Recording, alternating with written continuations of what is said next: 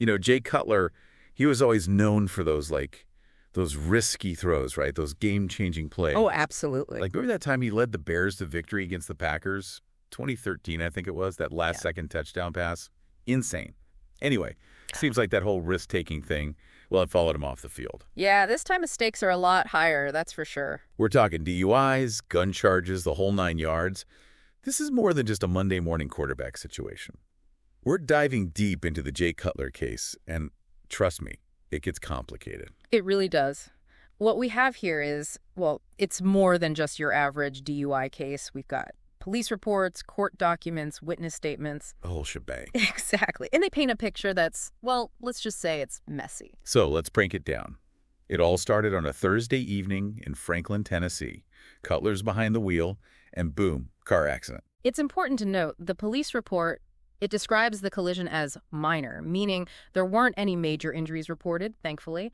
But uh, it's what happened after the fender bender that really gets interesting. That's where things take a turn, right? Exactly.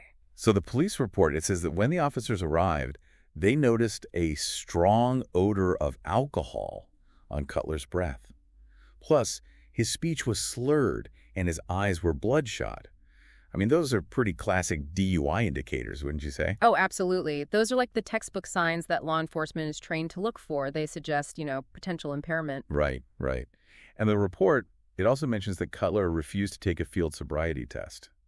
And then at the hospital, they had to get a, what was it, a blood search warrant. Yeah, a blood search warrant to obtain a blood sample. So I'm curious, if you refuse a sobriety test, is that like automatically an admission of guilt? Well, not automatically. There could be other reasons why someone might refuse, but legally speaking, it's definitely not going to help their case. Makes sense. You see, most states, and that includes Tennessee, have something called implied consent laws.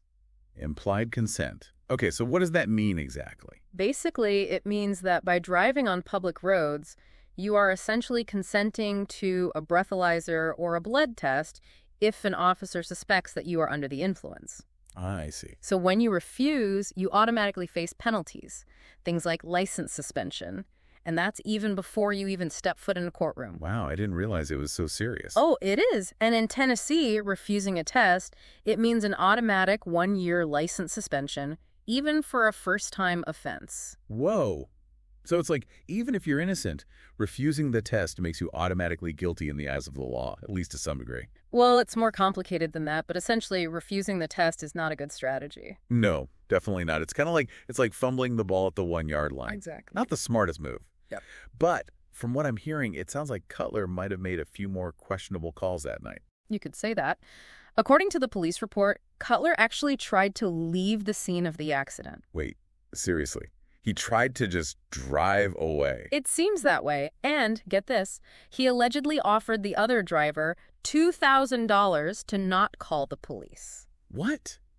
Are you kidding? $2,000? I mean, come on, he's not exactly rolling in dough anymore. It's not like he's still playing for the Dolphins. What was he thinking? That's a good question. I mean, it's hard to say for certain what was going through his mind at the time. Was it a sign of guilt? Was he just trying to avoid the situation entirely? Or was it just a moment of panic? It's bizarre, right? I mean, you'd think he'd be a little more careful, especially in his hometown. You'd think so. But, and this is where it gets even more complicated. Remember those police reports and court documents we mentioned earlier? Yeah. Well, they reveal something else that takes this whole situation to another level. You're talking about the gun charges, right? I mean, this is where those gunslinger comparisons suddenly become a little too real. Exactly. During a search of Cutler's vehicle, the police found a loaded pistol. And a rifle. A loaded pistol Right. and a rifle. Wow. He was really packing. It was. And that's where this additional charge comes in possession of a handgun while under the influence. In Tennessee, that's a Class A misdemeanor. It's a separate offense from the DUI and could carry much more serious consequences. So this isn't just a slap on the wrist and a night in the drunk tank kind of thing. We're talking potentially serious jail time here. We are. In Tennessee, a Class A misdemeanor like this, it could mean up to almost a year in jail, plus fines. Wow. This just got real. And, I mean, we're talking about someone who was, you know, in the public eye, someone people looked up to. He was a role model for sure. Exactly. Yeah. And it's not like this was just some, you know, random guy in a rental car. This is Jay Cutler. in his own backyard, making decisions with huge consequences. It really makes you think about like the whole picture, like those perfect lives we see on Instagram for celebrities and athletes. It's not always the full story, is it? Not even close. But just to keep things clear, let's stick to the facts for a moment. Cutler was arrested that night right there in Franklin. He was booked into the Williamson County Jail. Oh, wow, he actually spent the night in jail. He did, but he was released later on a $5,000 bond. $5,000? That's what, like a parking ticket for these guys? Pretty much. But here's the thing this whole case, it's far from over. Cutler has a court date set for January 16th, 2025. January 2025. Mm-hmm. That's ages away.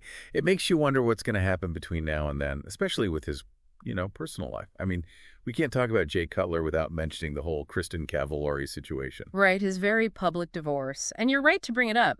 You see, when you're a public figure like Cutler, everything gets amplified, right? The media, the fans, everyone's got an opinion. Yeah, it's like they're living under a microscope. Uh, exactly. So when you throw legal issues into the mix, along with a high profile divorce like this one, things can get messy.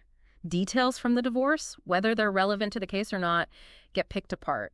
It's a recipe for disaster. It's true, the court of public opinion can be brutal. Absolutely.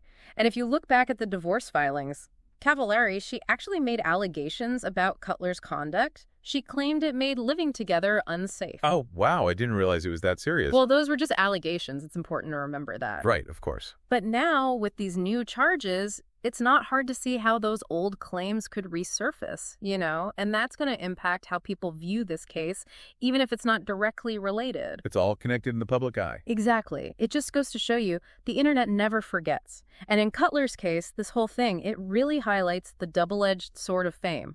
One minute, you're throwing touchdowns for the Dolphins. Living the dream. And the next, you're facing serious charges. Your personal life is all over the news. It's a cautionary tale, that's for sure. It makes you think about the kind of pressure these athletes face, even after they retire. The constant scrutiny, trying to live up to everyone's expectations. And let's not forget the pressure to maintain that edge, that competitive drive, even when they're not playing anymore. That doesn't just disappear overnight. so are we saying that's an excuse for, you know, messing up like this? Not at all, but it's something to consider. It makes you wonder if this need for risk, that same instinct that made Cutler such an exciting player, maybe it played a part in this whole situation. Think about it. He was famous for those risky throws, Like right? the ones that made you hold your breath. Exactly. Sometimes they were brilliant game winning throws, and sometimes, well, they were intercepted. But either way, he was willing to take the risk. And now it seems like we're seeing a different kind of risk taking, just not on the field. It's like he's calling the plays, but in his own life now. And the consequences are way bigger than just losing a game. Right. And that's what makes this whole thing so fascinating. It makes you think can you really separate the athlete from the person? Or are these actions, these choices, are they all connected somehow? It's a tough question, no doubt. But there's this whole other layer we haven't really touched on yet. And that's the legal system itself. Oh, absolutely. Because this isn't just about Jay Cutler, right? It's about how DUI and gun charges are handled, especially when it comes to celebrities, athletes, people in the spotlight. That's a really important point. There's always this debate, right? Is there a different standard for people in the public eye? Do their actions carry more weight or are they held to the same legal standards as everyone else? Yeah, because we've all seen those cases where it seems like a celebrity gets a slap on the wrist for something that would land an average person in serious trouble. Exactly. And while we can't speculate on how Cutler's case will specifically play out, it does bring those questions to light, you know? Questions about accountability, about privilege, about whether justice is truly blind. It's almost like those courtroom dramas, you know, where the defense attorney they try to paint the client in the best possible light, Yeah. separate the person from the crime, Right, right. and the jury has to decide what to believe. It's all about perception versus reality. And in Cutler's case, well, the court of public opinion, it's already in session. Social media is buzzing, fans are taking sides. Everyone's got an opinion, right? Exactly. Which makes you wonder how much of that will actually influence what happens in the courtroom. Is it even possible to have a truly unbiased jury when the defendant is a household name? That's the million dollar question, isn't it? It is. It's something legal experts debate all the time, and there's no easy answer. Right. If there were, it wouldn't be nearly as interesting. And I think that's what makes this whole deep dive so compelling. You know, it's not about finding the right answer. It's about exploring all the angles, the complexities, Absolutely. It's about asking the tough questions, challenging our own assumptions. and having these kinds of conversations, even if they're uncomfortable sometimes. So while we wait to see how everything unfolds with Cutler's case, I think it's a good reminder for all of us to think about these bigger issues. Celebrity accountability, the legal system, the choices we make when everyone's watching and when they're not. Well said. It's been quite a ride today. We've covered everything from the football field to the courtroom, from DUI charges to loaded guns, from celebrity divorces to the very nature of accountability. It's a lot to unpack. It really is. But if there's one thing we want our listeners to take away from this, it's the importance of critical thinking. Don't just take the headlines at face value, you know.